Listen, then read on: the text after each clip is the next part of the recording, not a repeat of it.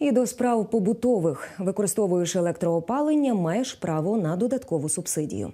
Про можливість отримати знижку повідомив прем'єр-міністр Денис Шмигаль під час урядового засідання. Таке рішення уряд прийняв після підвищення тарифів з 1 січня. Нагадаємо, з нового року для населення діє єдина фіксована ціна на електроенергію. Кіловат година коштує гривню 68. Діятиме тариф до кінця березня, а із квітня він змінюватиметься у залежності від обсягу споживання. Тобто для тих, хто використовує до 300 кВт на годину на місяць, вартість залишиться на рівні гривні 68 копійок. Якщо ж споживаєте більше, то й тариф буде більшим 3 гривні 48 копійок. Оформити знижку на електроенергію можна як онлайн, так і офлайн. Уряд розробив та в найближчий час прийме механізм, який передбачає прямі виплати е, людям, в яких встановлено таке електроопалення. Наголошую, що це будуть е, прямі е, виплати без прив'язки до того, які у людини доходи. Тобто, це не субсидія в класичному розумінні, це буде власне компенсація за підвищення тарифу або монетизація пільг, яке відбудеться власне з 1 січня. І нагадаю, ціни на газ для населення зменшили до 6 гривень 99 копійок за кубометр. Обмежили і тариф на розподілення природного газу до гривні 79 копійок для всіх компаній-постачальників.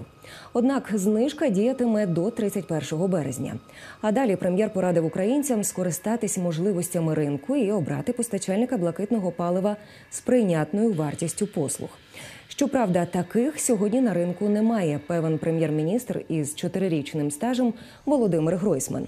А він вважає, що навіть знижена ціна на газ не є справедливою для населення.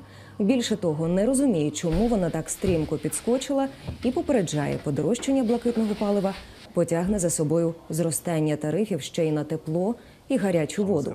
Про це Володимир Гройсман заявив під час ефіру на столичному телеканалі. У мене питання.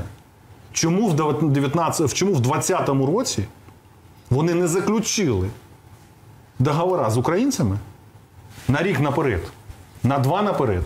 Тому що газу достатньо вже було, коли закачав, на два сезони по нижчій ціні.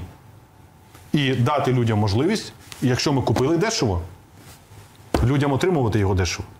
А не так, що вони купили дешево, а потім продають його втридорога. В умовах того, що газ зараз є в тому числі і соціальний продукт, да? тобто морози і так далі. Ми це обмежували. Зараз те, що вони обмежили, воно дорожче, ніж те, що я залишив. Було 6900 з доставкою угу. в серпні 2019 року. А зараз 7 ну, 7 тисяч. 6,99, ну це маркетинговий ход, мінус копійки, вже типу 6900. 6990. Значить, 7 е, тисяч плюс гривня 79 це майже 9 гривень 8,80 з доставкою сьогодні українцям. Перше питання: чому і хто це допустив, і хто буде нести за це відповідальність?